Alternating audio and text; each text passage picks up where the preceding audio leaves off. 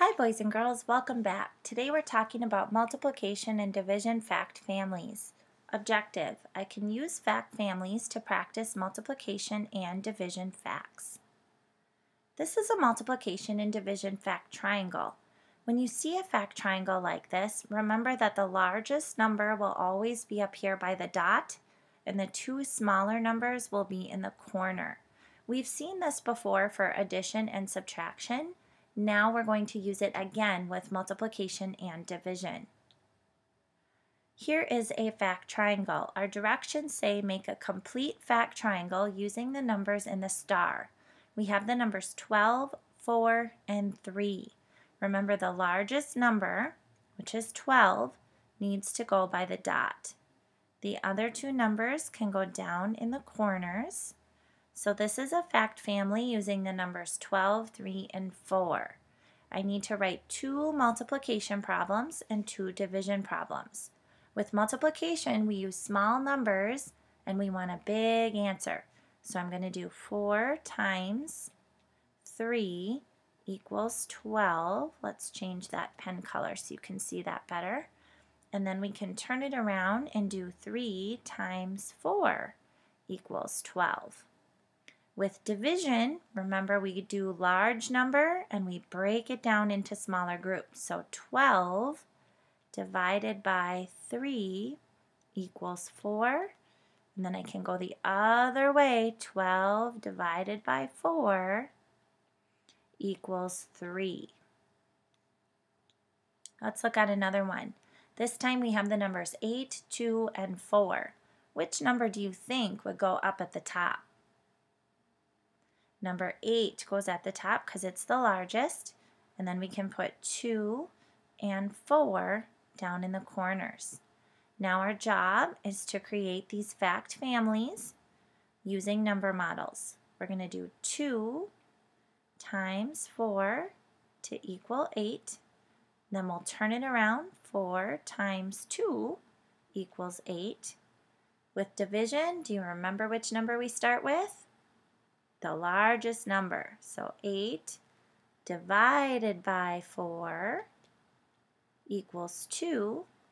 And then the last one, you guessed it, 8 divided by 2 equals 4. Class, now we're going to talk about another tool. This is a number grid, and a number grid is a great, great tool for helping us learn our multiplication facts. The first thing I would like you to do is just study the grid and look for patterns. So just take a moment to pause the video and study the grid and look for any kind of patterns on these on this grid. Okay, let's talk about some of the patterns. Maybe you've noticed some of these. In the 10 column and the 10 row, here's the 10 column and a row goes across. So here's the 10 row. If we look down these columns and rows, we see all the numbers end in zeros. In the 5 column and the 5 row, oh, here's the column, here's the row, 5 column and 5 row, all the numbers end in 0 or 5s. Remember when we multiply by 5s? That was one of our rules, that the numbers end in 0 or 5s. And in the 2 column and the 2 row, all of the numbers end in an even number. 2, 4, 6, 8, 10, 12, 14, 16, 18, 20. All of these are even, which means we could split them into two groups and there would not be any leftovers. All right, now I'm going to show you how to use this grid to solve some multiplication problems. So let's take a look at this table. If I wanted to solve 4 times 6, what I would need to do is go over four spaces to the 4 column, and then I want to go down by 6. So 1, 2, 3, 4, 5, and 6. And my answer would be right here where these two paths meet at 24. So the answer to 4 times 6 would be 24. Okay, let's look at another fact. This one is 3 times 5. So I would go over to the 3 column, and then I would want to go down 5. 1, 2, 3, 4, and 5. You'll see right here my answer is 15. You have one of these multiplication tables in the front cover of your math journal at school. This can be super, super helpful as we go through Unit 4. Here's another one, 7 times 6. So this time we're going to go over to the 7 and we're going to go down 6 spots. 1, 2, 3, 4, 5, and 6.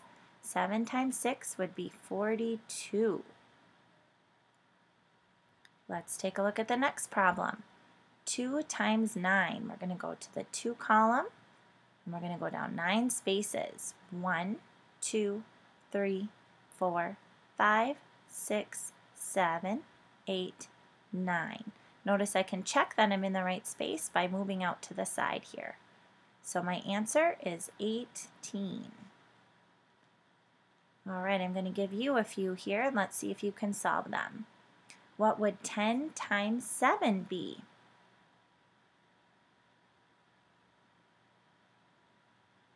The answer is 70.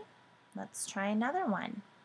How about, oh, we've already done 7 times 6 here. Let's move on. How about 8 times 4?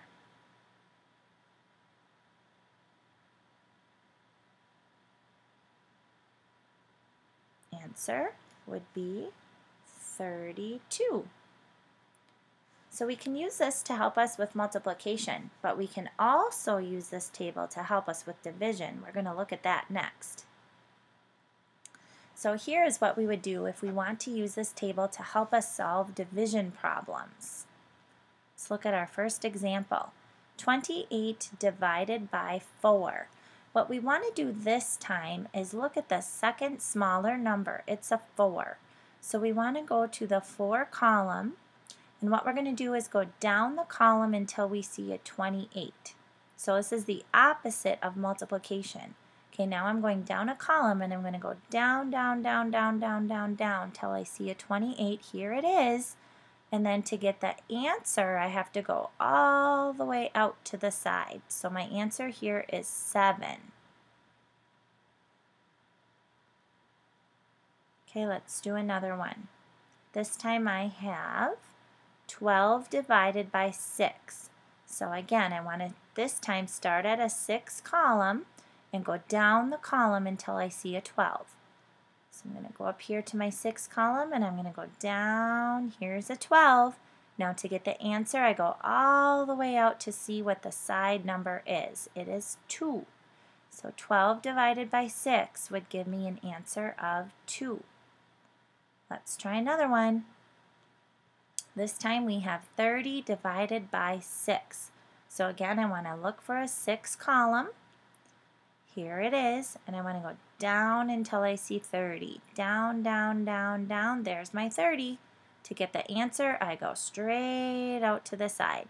Answer is 5. 30 divided by 6 is 5. Let's see if you can get the next one.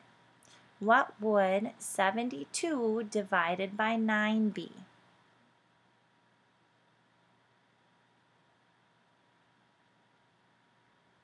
Okay, we'd go to our 72 divided by 9. Here's the 9 column. We go down, down, down, down till we come to 72. All the way out gives us an answer of 8. 72 divided by 9 equals 8. Okay, here come the quiz questions. This is quiz question number 1. Please take out your math notebook and you need to solve what is 7 times 4. Pause the video so you can use the grid that you see on your screen and write down the answer to 7 times 4. Quiz question number 2. What is 36 divided by 6? This is division, so make sure that you remember what to do. If you can't remember what to do, go back in the video and re-watch the example of how we found the answers. 36 divided by 6. Quiz question number three. What is 9 times 8? So back to multiplication on this one. 9 times 8. And your last problem for today is what is 60 divided by 10. So this one is division. 60 divided by 10. Once you have finished the answers in your notebook, please go online and put your answers into the quiz. And I will see you back in class soon. Bye.